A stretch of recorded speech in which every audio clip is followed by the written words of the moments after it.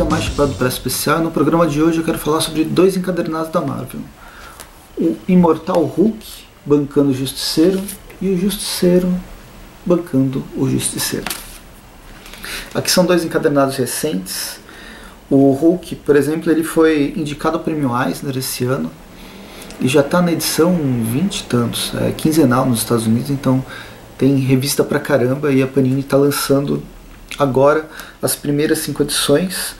O roteiro é do Al Ewing, é difícil falar esse nome. Os desenhos do Joy, Joy Bennett, arte final do Rui José e as cores do Paul Motos. É uma história legal. O Hulk tinha sido é, dado como morto, na verdade tinham matado ele mesmo, né? O, foi o Gavião Arqueiro que deu aquela flechada no olho do Hulk com um dispositivo especial que teria matado de verdade. No fim, é, os grandes super-heróis da Marvel da DC nunca morrem mesmo e o Hulk não poderia ser diferente. E ele volta com algumas pequenas diferenças. Logo no começo a gente vai ver aqui um, um mercadinho de beira de estrada. O Bruce Banner está fazendo suas compras, como qualquer pessoa errante pelos Estados Unidos. Aí de repente chega um cara encapuzado e começa a atirar em todo mundo. Né? Ele tenta fazer um roubo, é o primeiro roubo dele e ele acaba matando todo mundo que vê pela frente. O Bruce Banner é um dos que leva um tiro, ele cai morto no, no mercado e essa é uma das uma das características que vai diferenciar esse novo Bruce Banner barra Hulk do antigo. O Bruce ele pode morrer. O problema é que ele não morre por muito tempo. Quando anoitece, o Hulk aparece e se transforma e renasce das cinzas. Aqui o Al Ewing ele consegue trazer de volta a ideia de monstro.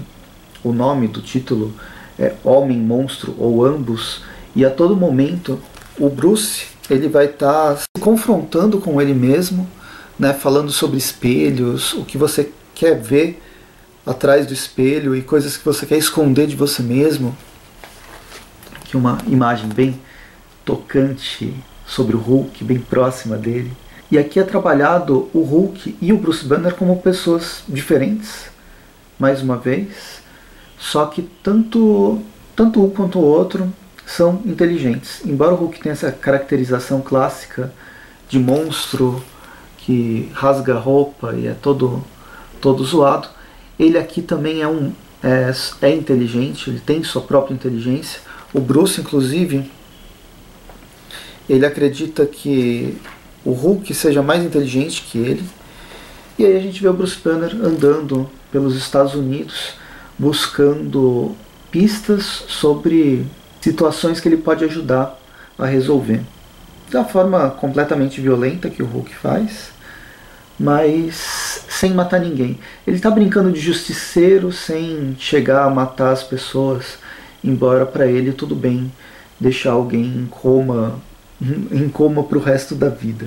Gostei bastante da ideia dessa sensação de terror, dessa brincadeira do gênero do, do horror que o Al é, fez com essa, essa série. Não é à toa que ela tá, ela tá, ela concorreu ao melhor melhor série da Marvel nesse último ano. Além disso, a gente tem também uma brincadeira, uma aproximação com a série dos anos 80, né, com o Bruce Banner sozinho, isolado, andando pelos Estados Unidos sem dinheiro nenhum, roubando quando precisa simplesmente para ter uma roupa até que o Hulk apareça e rasgue tudo de uma vez. Em paralelo, a gente acompanha também uma jornalista. Ela está atrás de descobrir se o Hulk está realmente vivo ou não. Ela que faz o furo de reportagem.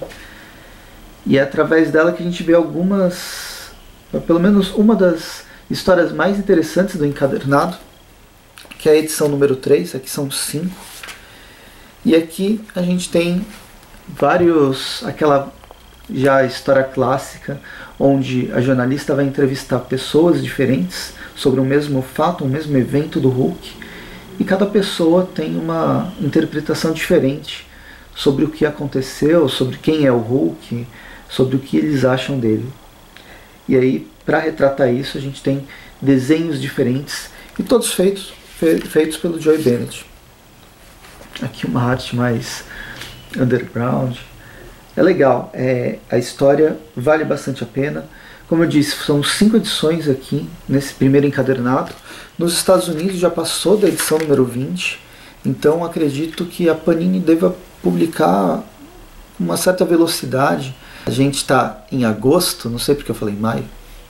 A gente está em agosto e, bem, até dezembro talvez saia pelo menos mais pelo menos mais um é certeza que vai sair e talvez saia até dois encadernados antes do, do final do ano. E agora vamos para Justiceiro, jogo rápido. Aqui a gente tem a arte do Matt Rosenberg, as ilustrações do Sismon Kudransky e as cores do Antônio Fabella. São as cinco primeiras edições dessa nova fase, já é o décimo, décimo primeiro volume. Justiceiro sempre é, encerra a sua numeração e começa de novo com novos atores, né? É, nova equipe criativa. Aqui a Panini, inclusive, eu acho que ela publicou de publicou errado, tem um papel muito mais grosso do que as revistas normais. Na verdade, aquele papel das revistas é, especiais que eu esqueci o nome, mas é desnecessariamente mais grosso, mas o preço da revista não aumentou, então acredito que tenha sido erro mesmo. Mas enfim, basicamente a gente tem duas, duas coisas correndo em paralelo. O Barão Zemo e o Mandarim eles estão tramando para criar uma, um novo país, sob coação, claro.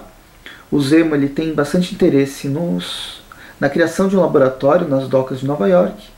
E aqui o Frank Castle destrói o, o laboratório, mata o mandarim, que estava discussando na ONU, e basicamente isso é a primeira edição só das cinco que são publicadas nessa revista. A partir de então é o Zemo mandando matar o Castle. A gente acompanha 140 páginas de tiro, porrada e bomba. Com o Castle fazendo o que sabe fazer de melhor, matando pessoas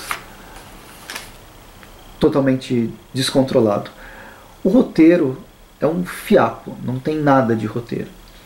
Mas ele é suficiente para a gente ter a arte do Kudransky, que realmente é muito legal. Ela brinca bastante com essa narrativa, entrega sequências de ação que tendem para um realismo simplesmente espetaculares. Eu gostei muito da arte dessa revista. Como eu disse, não tem, não há. A história podia se fosse nos anos 60, 70, ela estaria numa edição solo do personagem, mas ela se estende por cinco edições para explorar bastante a arte, e a arte é muito legal. Esse realismo, ele não vem tanto da arte, do, do desenho do Kudransky, mas das cores do Fabella. O Antônio Fabella ele quis trabalhar com uma paleta de cor mais escura por personagem e para as locações que ele passa, para dar um contraste bem legal quando ele vem com cenas explosivas. Aqui é, existe bastante recorrente trabalho de luz, seja com explosão é, por causa de fogo, seja por causa dos lasers que aparecem vez ou outra. Aqui essa, essa parte da da luta com o punho de ferro, ela é bem legal também. Então a gente tem também participação espe especial de vários heróis urbanos da Marvel tentando capturar o Justiceiro. É uma história é um encadernado interessante, ele é divertido, para quem gosta do Justiceiro vai se esbaldar. Mas como eu disse, não tem lá grande história, é mais uma apreciação da arte da violência generalizada que o Justiceiro sabe fazer. E é isso. Espero que tenham gostado do vídeo. Curtam o vídeo, assinem o canal. Comentem se vocês estão lendo essa fase dos justiceiros, se vocês estão lendo ou querem ler essa fase do, do Imortal. Sempre vou falar incrível, mas do Imortal Hulk.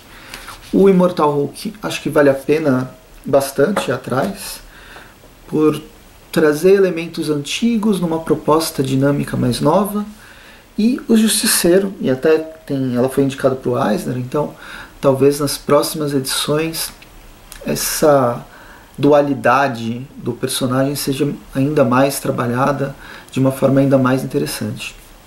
O Justiceiro é aquela coisa de sempre, mas é, uma, é um arroz feijão de violência bem feito. Então, se vocês quiserem, é isso aí. Comentem, a gente conversa nos comentários, curtam o vídeo, assinem o canal, compartilhem o vídeo, assinem o Chapéu do Presto no Facebook e me siga no Instagram, arroba Acho que é isso.